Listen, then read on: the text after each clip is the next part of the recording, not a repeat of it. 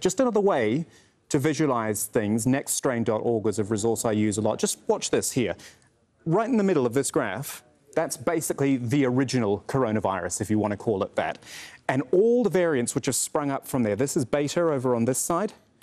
Delta, that's actually all of these here. It's not just one, it's actually multiple strains of the Delta variant. This is Omicron, right there, that small dot over on the left, the yellow one, just to give you a little perspective of how it compares to the rest of the coronavirus as it has developed.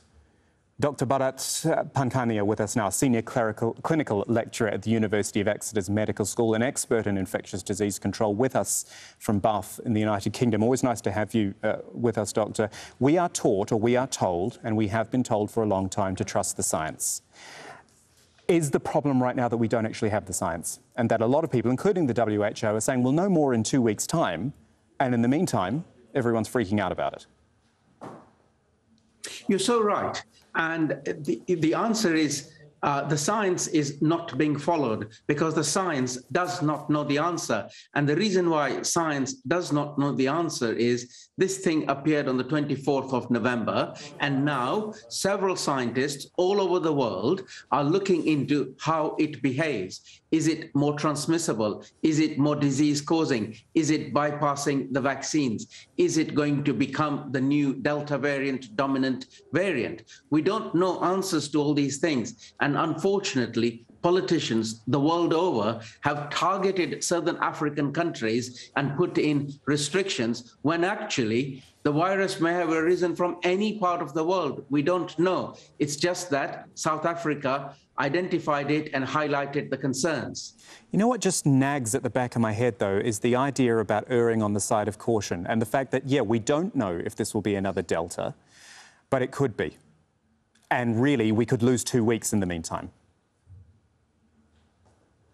Yes, so we have already, especially in the United Kingdom, not been assiduous in controlling the Delta outbreak. And we do the partial infection control measures only, which is talk about boosters, boosters, and boosters all the time. We're not controlling it in schools. We're not controlling it via the wearing of masks, wearing them properly in crowded places. So we mustn't forget Delta, mm. and we also must be very measured about Omicron uh, until we know more about it.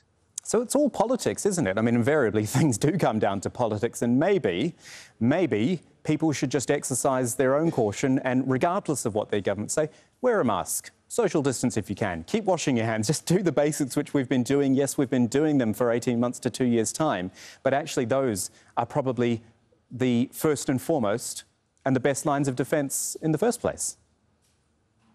Yes, absolutely. And it is just common sense that infection control and prevention of infections is a multi layered thing. And if everyone did the multi layered thing, despite what our populist politicians wish to say, we would be in a better place. And scientifically speaking, I think we are already in a better place because of the number of people immunized in Europe. Mm. Unfortunately, in Africa, we haven't got around to immunizing a significant proportion. And I feel if need be, if really, really, really need be, another vaccine with a reformulation to mirror what the Omicron virus is doing would also provide additional protection if needed.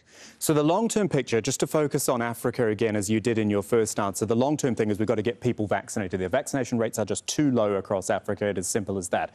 So there needs to be vaccine equity. More people need to be vaccinated. That's the long-term picture. In the short term, we see governments that have decided, right, just cut it off, cut off the travel, close the borders. What's the in, in your opinion, what's the in between? What, what could be done that isn't so harsh in the short term? Well, we we need to um, not forget the other infection control measures. But again, this is a wake up call for Africa. People like myself have been saying for over a year that we need to help Africa. And really, it isn't a case of just supply the vaccines, it is the supply the, the logistics, the information, the advice, the setting up of the clinics, the needles, the syringes, the swabs, all that logistics. The Europeans are very rich with it, and they should be setting up that, that that facility now for when the vaccines become available? Look, there's so much we can talk about. I do like talking to you, Dr. Bharat. Thank you so much Yes. for your time and your, uh, your, your calm perspective there. Very helpful. Thank you.